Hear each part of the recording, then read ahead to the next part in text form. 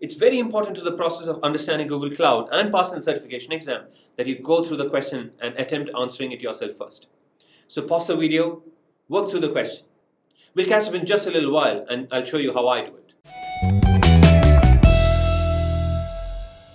In this project scenario, you are designing a streaming pipeline for ingesting player interaction data for a mobile game. You want the pipeline to handle out of order data delayed up to 15 minutes on a per player basis and exponential growth in global users. What should you do? The key parts of the question we should expect a streaming pipeline. So, this is not batch data that is going to be loaded at the end of the day, it is going to continuously keep running. This data itself would be would potentially be out of order. So an event that is generated now will probably come much later than an event that is generated later on. We expect to be able to handle that delay of up to a maximum of 15 minutes. This data coming in and the delay in that has to be managed on a per player basis. And we are also expecting a huge growth in global users. So the user all across the world and we expect it to shoot up as the game is launched and played. Given that, let's consider the options. Now, the first thing I notice when answering a question like this is that there are these groups of options again. And my preferred approach is to group them and eliminate things that don't work out using whatever is the right approach according to the recommended practices. So, looking at all these four options, we can see that they have a consistent starting line, which is design a cloud Dataflow streaming pipeline. That suits us perfectly. The recommended approach for dealing with streaming data on Google Cloud is Cloud Dataflow, which is the managed version of Apache Beam. So all four options are starting to look okay. It's consistently also has a window of 15 minutes, which is again what we want. So all four are okay right now and they're consistent, which means we can now look at the other parts of the option, which are different. In A and B, the recommendation is that we have a session window where we use the individual player as the key. C and D has a suggestion that we use a single global window for all the players.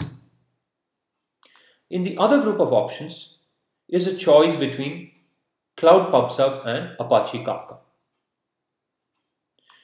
Let's first consider the differences between PubSub and Apache Kafka. So A and C uses PubSub and B and D uses Apache Kafka. To handle exponential growth of users that are globally spread, either of these options would work. However, PubSub is the managed solution for dealing with this on Google Cloud. You won't have VMs to manage and you won't have to scale it yourself, so there's less to administer and operate. Given that's the case, we will eliminate Apache Kafka because it is just a more operational option. So it has to be one of A or C among the given options. The next group of options is between A and B, which suggests session windowing with individual player as the key, and C and D, which suggests a single global window. Now, looking at the requirement, we need data on a per player basis. Now, what does each player have? Each player has one session into the server. If we use a single global window and we give a total uh, 15 minutes uh, window to that, then that would fail us because we ideally want to get data with this delay probably on a per player basis.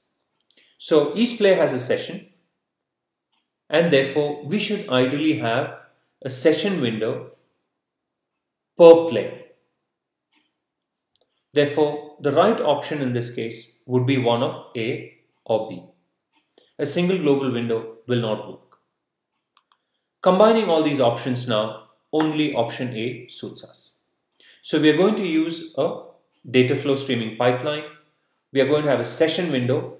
For each player there's a session and for each of them we can have a 15 minute gap for the window. To absorb huge load that could grow suddenly, Cloud PubSub is the right option as opposed to Apache Kafka because PubSub is managed entirely by Google Cloud for you. If you thought that content was great, you absolutely must check out all our new upcoming content. So subscribe right away.